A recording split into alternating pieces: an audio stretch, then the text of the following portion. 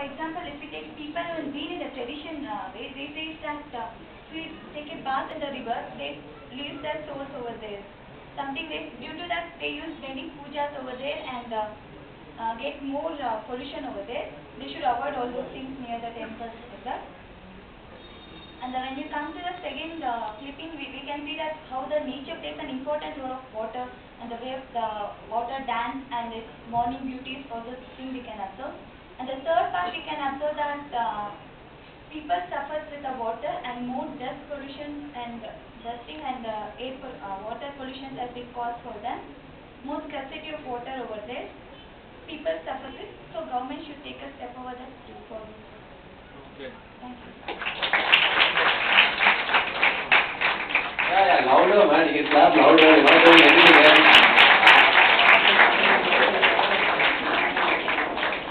Okay, man. One last person from the audience. I want you to sum up what you know. Okay.